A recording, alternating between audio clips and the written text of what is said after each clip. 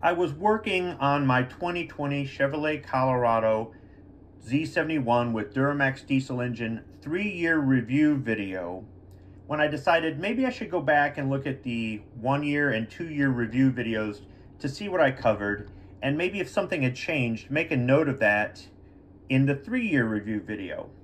That's when I discovered I never uploaded the second year review video to the YouTube studio. So here it is, a year and a month late, and it will be followed up with the three-year review video. This might help somebody who's considering purchasing one of these trucks used at a later point. Thanks for watching. So it's February 14th, 2022. I've had this Chevrolet Colorado Z71 crew cab long box 2.8 liter Duramax diesel pickup truck for two years. It is a used truck. It is not a new truck. That's only I can only say that for the first year. And in those two years, I've learned a lot about the truck. I still haven't worked every gadget in it or had it, you know, I haven't operated it under every potential circumstance that I might use it under, but I've got to do a lot of evaluating. And overall, I'd say that my experience with this truck is more positive than negative, but there is some negative to it. And I thought I would take this two year mark to review both. So, first off, I'm at uh, a little bit more than 25,500 miles on the truck. I have taken it out of state a few times to include a two week road trip to Las Vegas and back, and I really got a chance to evaluate it on that road trip. I've used it for deer hunting. I've used it to haul a few things, not a whole lot. I've towed a trailer with it once, and I've been accessorizing it a little at a time. I've got videos about some of my experiences with that. So the cons. Well, the most obvious con, the most recent con that's been going on for a little bit more than a month now is this whining noise, which I believe is the turbocharger. When I accelerate, I don't know if you can hear that whining noise. It's been going on for about five or six weeks now, and it, it happened after it got really cold, but even on a day where it got up to say like 46, I've been getting that, and it's only on hard acceleration or if I'm in neutral revving the engine that I get that. Now, if it is a turbocharger and there's something wrong with it, I've got a 100,000 mile warranty on the truck, so I'm not worried about it. GM will make it right. But that noise is annoying. It didn't have it when I first uh, got the truck, and I don't like it.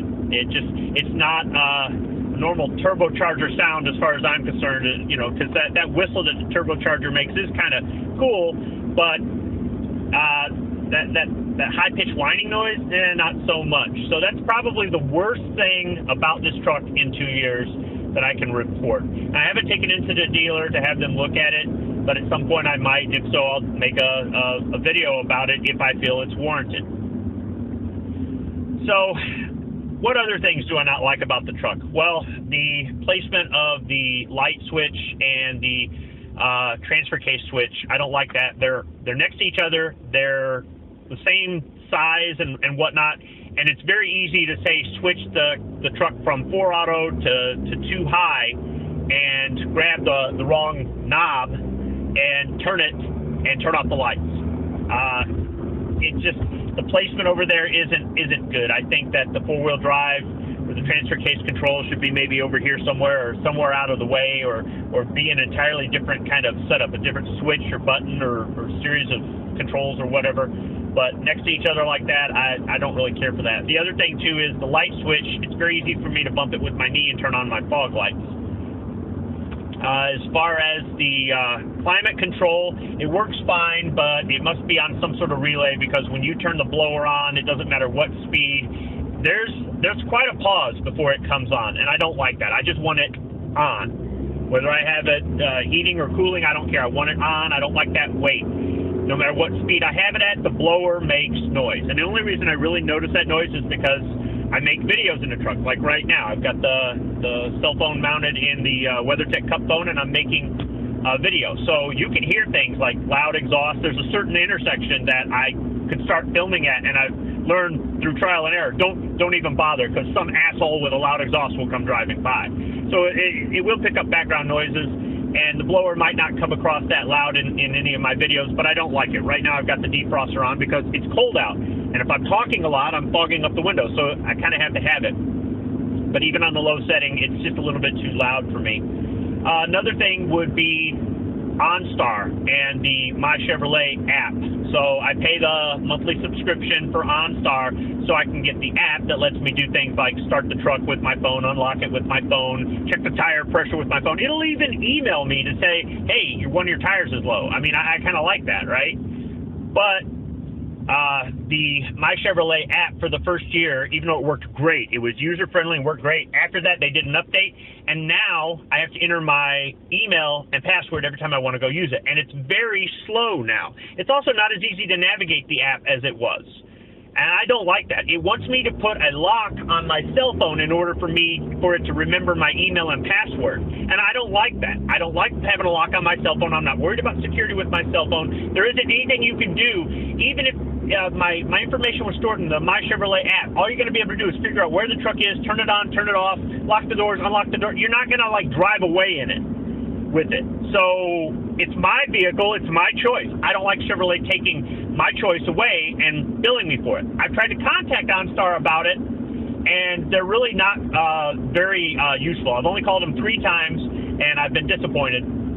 Uh, they they just really don't. You know, they're there to handle emergencies or tell you what you could. You know, like if you ask them, is, is there a restaurant nearby? Whatever, they're just going to look it up on Google Seriously, that's all they do. So I, I don't really consider it value added. I'm keeping the app though. Uh, maybe at some point they'll offer another uh, um, upgrade or, or, or, or whatnot, and, and it'll get better or whatnot. But I'm just going to leave it because I've got it locked in at a fairly decent price. It's not that expensive, and I'd, I'd rather have it than and not use it than uh, you know suddenly need it and not have it. So I'm just I'm overall not not happy with it. It was great at first, but yeah, why, why, if it ain't broke, don't fix it, Chevy. So, and uh, one of the reasons I called OnStar was because of another con with the truck, and that is it will not update for daylight savings time. If you have the clock set to automatic, it does not update for daylight savings time. You can manually go in there and change it, but why should I have to? It'll update when I drive through different time zones, but it won't update for daylight savings times. It knows what day it is, it knows what time it is, it knows the temperature outside, things like that but it will not update for daylight savings time, and that is an issue. So I'm not too happy with that. Uh, other than that, the the truck is done fine. I've had to make one warranty claim on it. The uh, door handle was cracked, and they handled it. It was real easy. Didn't cost me a thing. It, it really didn't inconvenience me. Other than that, I just I haven't had any issues. There is a vent tube on the rear axle that looks like it's cable tied to the frame, and it must have popped loose when I took the truck off road, and it was just dangling there. But I mean, that was nothing. Just put it right back in the loop of the cable tie. Good to go. The truck has uh, the truck hasn't really had any other warranty issues. So now the pros.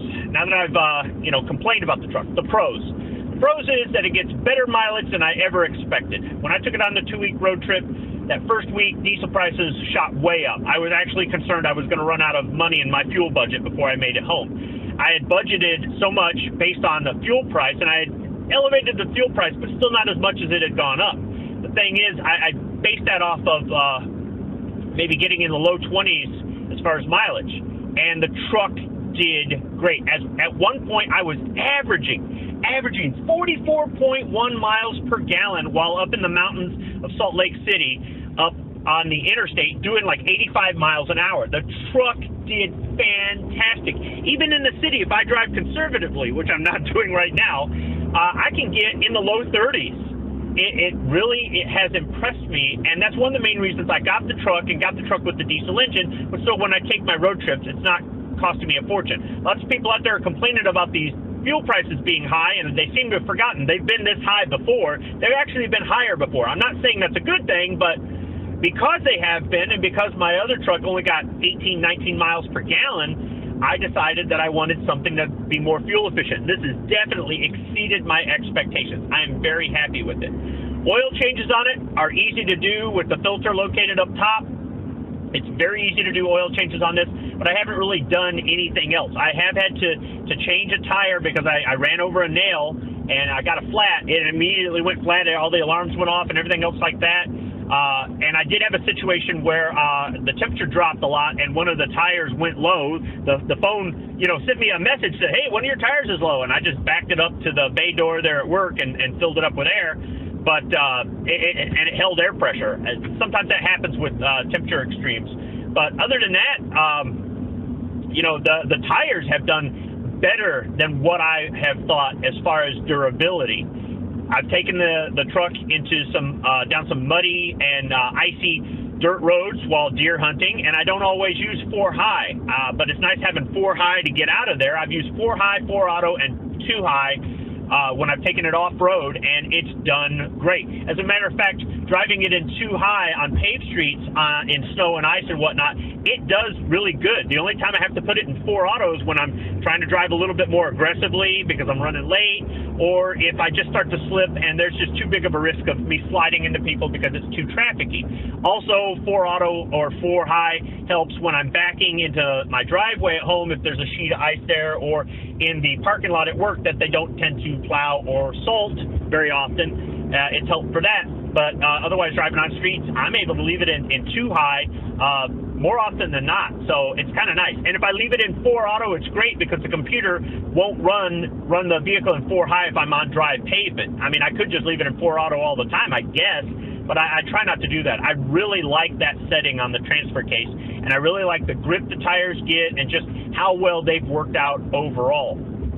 Uh, let's see, what else as far as uh, uh, pros? Pretty much all the accessories I've, I've put on the truck have worked out uh, pretty much up to my expectations. You know, the seat covers, I've, I've had this brand before. I know they're good. The floor liners I've had before. I know they're good. This uh, CupFone's working out better. And uh, some of the stuff that I've put in the back that I've shown in videos underneath the seats, uh, I, I realized uh, over time I've needed to add this, needed, I still need to add a few more things. There is a little bit of room underneath there. I'd like to see more room, but I am glad that there's under seat storage in this truck. Uh, as far as towing, I did a video on that. Uh, the truck did fine as far as braking and acceleration. It was just that the, the, the less than aerodynamic shape of the trailer caused the truck to lose 10 miles per gallon, whether the trailer was full or not. So I'd like to try to tow it with a more aerodynamic trailer and see if I get better results. Maybe one day I'll do that. I wasn't able to use the trailer brakes. You know, I tried, but I really didn't have a situation where they would be, you know, they would work out. I haven't used the exhaust brake. Uh, so there, there are a few other gadgets for me to try out, but overall, I'm just really more satisfied with the truck than dissatisfied with the truck. Now, a pickup truck isn't for everybody. A diesel engine isn't for everybody. Some people don't like the fact that not all gas stations sell diesel or that it costs more per gallon even though you get better fuel mileage. You know, they don't like the cost of the uh, maintenance, oil changes, and things like that do cost more with a diesel. You you you've got to be a little bit mindful of a few things. The diesel exhaust fluid. When I'm driving on the highway at, at higher speeds, I will burn through diesel exhaust fluid quickly. But in town, no, it lasts a while. So, you know, some people might not just, they might, might, might ah, I can't talk. They might not want to deal with that sort of thing. So the vehicle I drive isn't for everybody. But if you want a pickup truck that is almost as big as a full-size truck, but small enough that it'll fit in, you know, garages and tight parking spaces and things like that, and you want a pickup truck that you can haul five people around in or three people and a dog, you want a pickup truck that's big enough to fit a water heater in the bed or a deer in the bed. You want a vehicle that'll go down a muddy, icy dirt road, no problem. That will, uh, you know, get you get you there, and that you can take on long distance trips and really not worry about fuel prices and mileage. This is the truck that I think would fit that bill. If that's not what you're looking for in a pickup truck, then this truck isn't for you.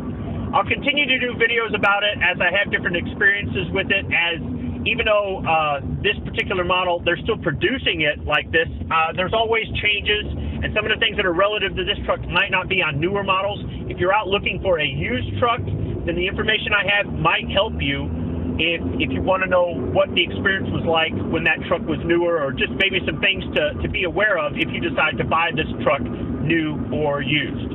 So, I know it's been kind of a long video, but I got a lot to unpack there in in the the two years that I've had it, I would uh, definitely say it was uh, well worth it, and I would recommend a GMC Canyon or Chevy Colorado to anybody out there who's looking for a truck for the same reasons I am. Thanks for watching.